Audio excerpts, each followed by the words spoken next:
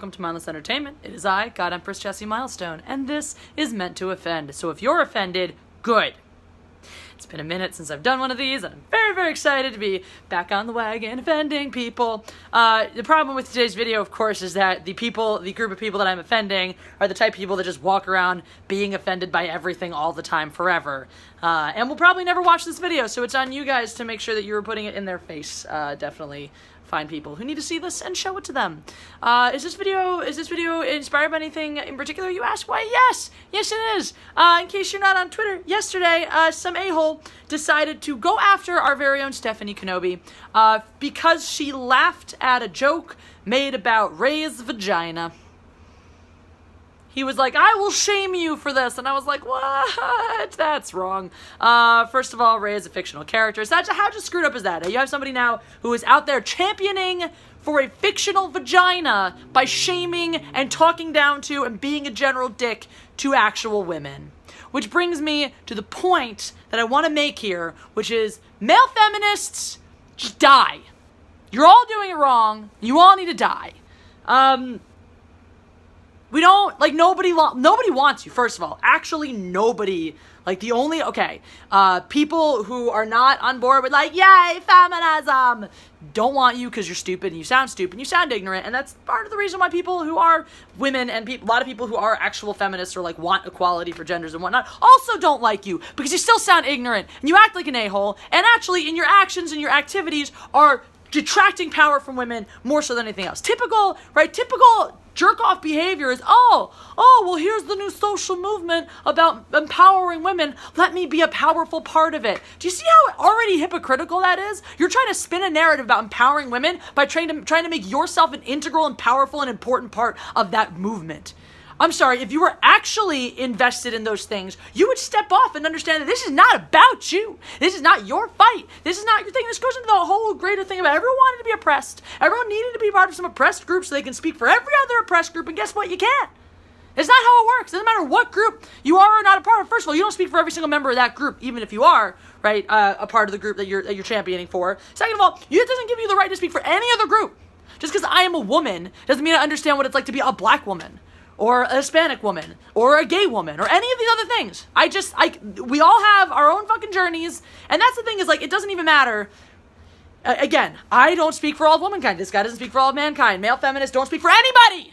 The only people who like you, right, male feminists, are weak, pathetic women who women who think that they're empowered or want to be empowered, so they really, really like that a strong man gets to do the talking for them, while they sit back and go, uh-huh, yeah, I'm too afraid of confrontation and too insecure to stand up for myself. Yeah, not how this works. It's great. What a wonderful, beautiful feminist movement we've created where all the men do the talking and the work and speak for all the women while the women go, yeah, what he said. Good job, ladies, really taking that power back as you can see, I have some problems with this. Now, I, I don't know where you guys all land on the spectrum. I don't really care. It doesn't really matter to me uh, as long as you're just not, not getting in my way. I do believe that there has been, uh, I mean, look, look dec- centuries, centuries of of Im- an imbalance in gender roles in society. For the most part, over those centuries, women have gotten the shitty end of the stick. Yes, men get shitty ends of the stick sometimes now. Yes, men are finally starting to realize, like, oh shit, this stuff, the stuff that women want sucks and is terrible. Okay, yes, it's true. Some of the things that feminists want today are really, really shitty. That can also, at the same time, be a bit of a wake up call to be like, yeah, these shitty things have been happening to us for centuries. So, both sides need more empathy. Both sides need more compassion. Both sides need to understand that this is not about getting revenge or punishing people or anything like that. And both sides need to reject male feminists because they're fucking stupid.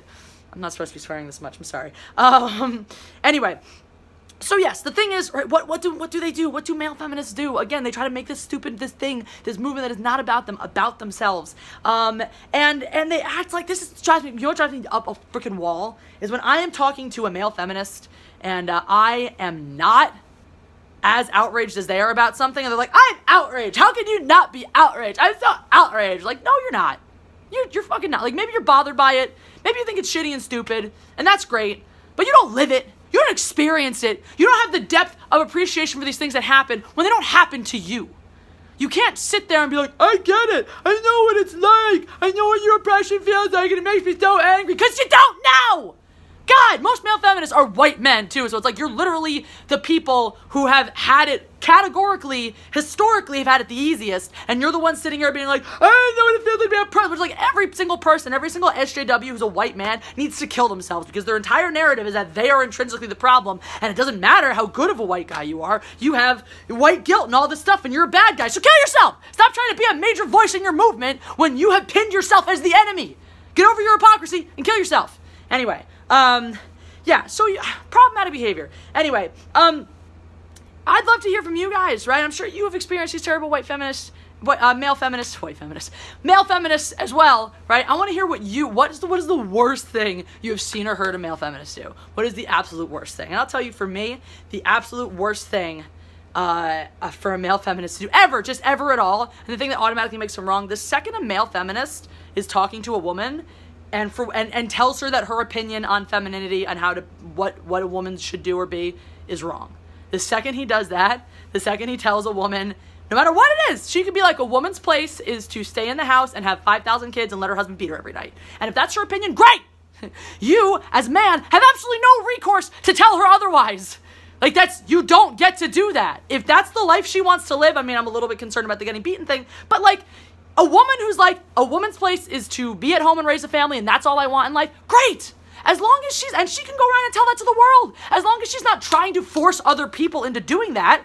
Likewise, vice versa. This is a huge problem with the feminist movement: is women having not having respect for stay-at-home moms. I was raised by a stay-at-home mom. She gave up a lot and she sacrificed a lot in order to raise her children, and I am proud of her, and I could not be more proud of her. And feminists can eat their own. I'm trying to be more, less graphic. Feminists can chew their hands off until they bleed to death out of their wrist holes. Uh, if they want to say anything bad about my mom and the choices that she made in her life. Any woman who decides that's what she wants, she wants to be home with her kids and make a home, that is fine with me.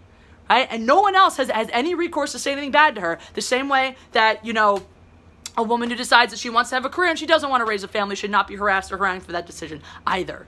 And any man, any man who thinks they have the right to tell a woman what she should or should not believe about womanhood and about feminism should go throw themselves off a cliff onto a pile of thorny spikes that are covered in the slowest killing, most painfully murdering poison that is out there. Because no, the second a man decides to tell a woman what feminism is, he is wrong. He is just wrong. Doesn't matter what his viewpoints are or how many uber feminist ladies agree with him. He's wrong. That's the whole point. Is you don't get to tell a woman what is right or wrong for a woman because like the whole thing, that's what drives the hypocrisy. Just drives me up a freaking wall. Your whole point as a male feminist is oh, we shouldn't be telling women what to do with their lives and do with their bodies. So the second you do that to a woman, just because she doesn't believe the things that you do, you're wrong.